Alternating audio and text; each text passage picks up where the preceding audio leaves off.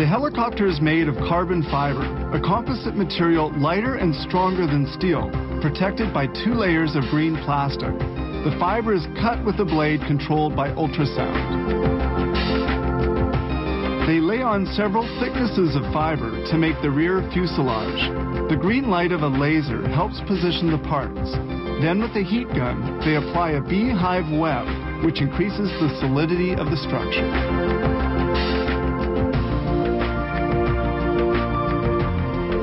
But the carbon fiber is still soft. To harden, it must be washed under pressure for 10 hours in this autoclave oven at 177 degrees centigrade. The pieces exit the oven and head for machining. The door of the motor housing is kept in a cutting jig and is shaped with a manual shaper. Before installing the parts in place, they strike it with a resonance hammer to detect any faults. Next, the electrical harness is mounted on a pattern before being installed in the aircraft. This particular helicopter has 2,351 meters of wiring, but others can have almost 9 kilometers.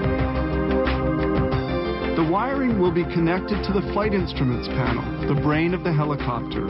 This aircraft has 9,964 rivets fastened with a gun and a ram. They also apply a sealant to prevent the infiltration of corrosion creating humidity.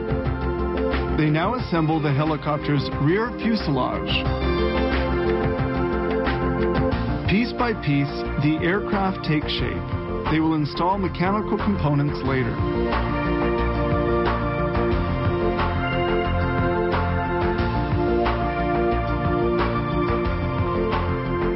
The motor arrives. This one weighs 120 kilos and has to be carefully handled. Among the other parts to be installed is the circular plate on which the blades will be attached. Safety is primary. The screw nut holes are perforated, allowing the insertion of the brake cable. This tightly braided metal wire prevents the nut from loosening due to strong vibrations. Now they bolt on the four blades which make the helicopter fly. Weighing 41 kilos each, they're made of composite materials and an aluminum alloy. They're attached to the main rotor. The dashboard is installed in the cockpit and all the wires are hooked up. Contact is established and all is functioning properly.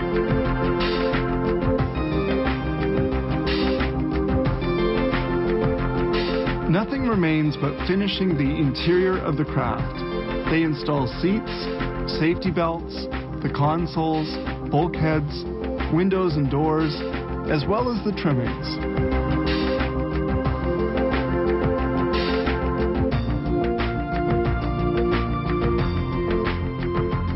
The helicopter is almost completed, but it still has to be painted.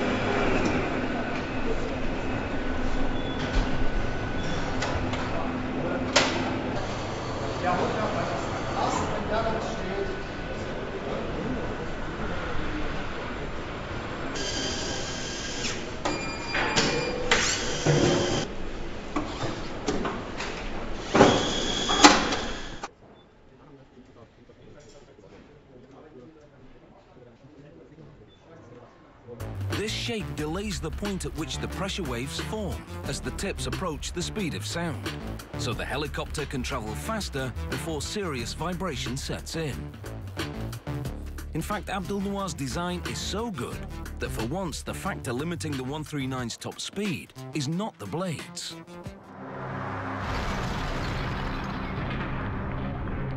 It's the strength of the windscreen.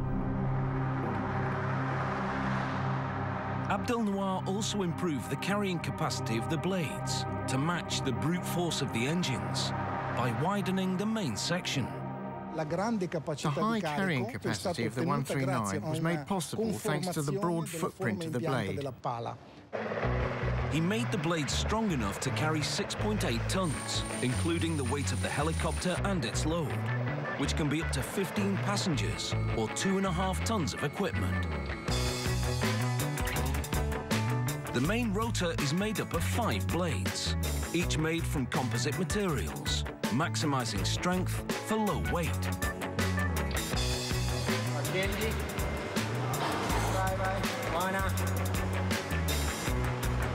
And is held in place by just two titanium bolts.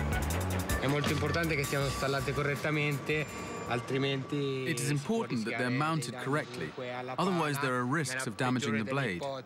And in the worst case, though it's very unlikely, we could lose a blade.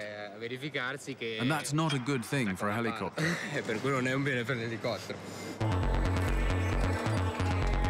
With the blades fitted, the helicopter, while not complete, is now a working aircraft. And it's time to prepare it for flight. Switching on for the first time is always a tense time. Test engineer Gianluca Frattini needs absolute confidence in his colleagues that have designed and built this complex machine. He carries out all the standard pre-flight checks that any pilot would do before a flight, with extra care.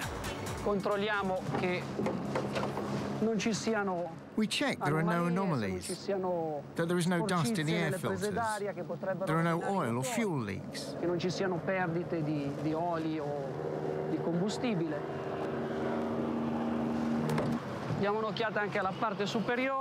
Then we have a look at the top part of the helicopter. Check there's nothing wrong with the rotor. And check it's all okay. Pronto, ciao, sono Frattini. Missarino c'è? Satisfied that it's all okay, Gianluca tracks down a pilot.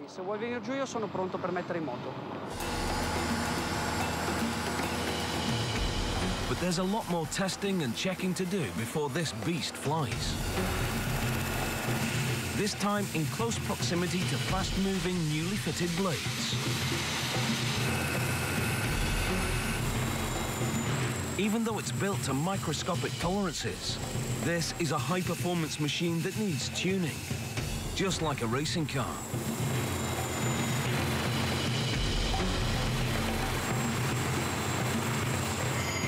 And this one needs a surprisingly low-tech tweak.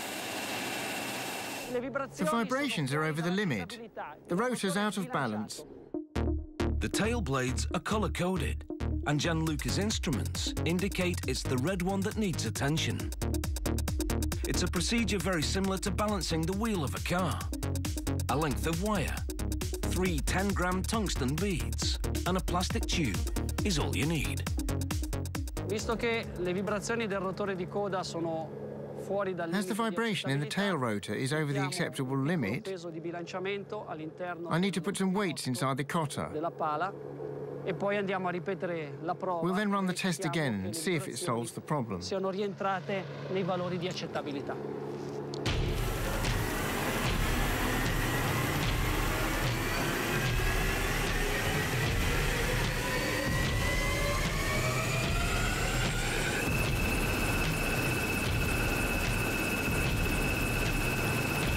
The adjustments are perfect. The rotor's fixed. We can proceed with other tests now. Problem sorted, and this brand new 139 is approved for flight.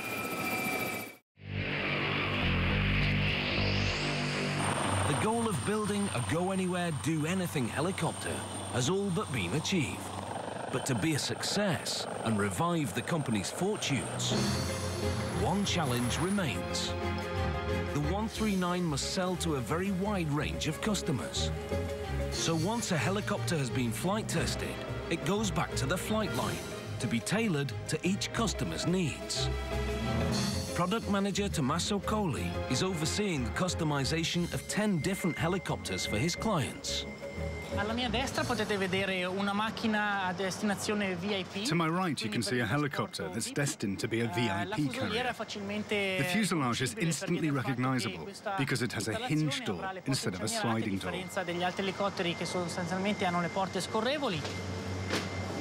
In questa macchina potete In this machine, you can see that we've installed an active anti-vibration.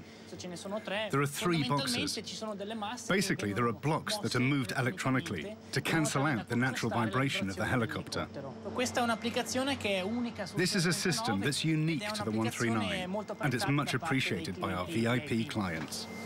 Questa trasmissione è una trasmissione appositamente studiata per le installazioni VIP. This transmission is designed just for the VIP version. di sistemi di It has a system that reduces noise and vibration to give a more comfortable flight eh, than the other models. rispetto alle normali trasmissioni installate su altri elicotteri.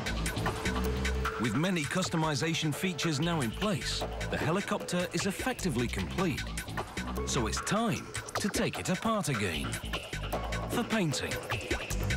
La fase di verniciatura è una fase piuttosto lunga e complessa per il motivo che eh, fondamentalmente la macchina viene The painting period is a long one and very complex del- because the machine gets here and firstly gets painted with a special primer that protects the helicopter.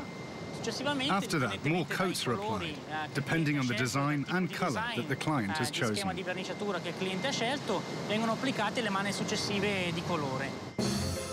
Back on the flight line, the painted fuselage is reassembled and the final level of customization takes place.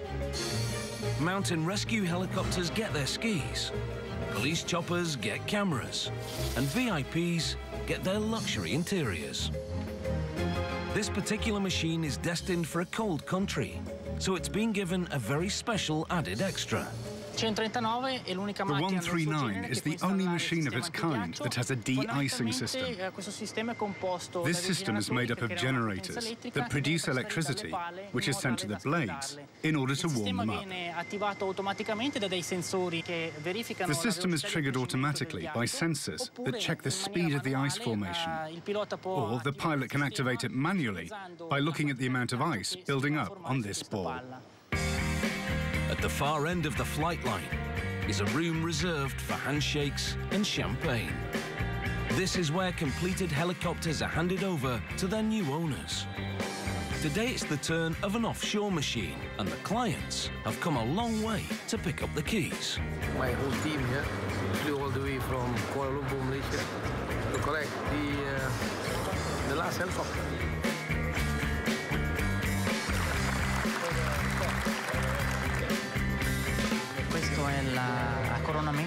Today is the crowning glory of the whole building process.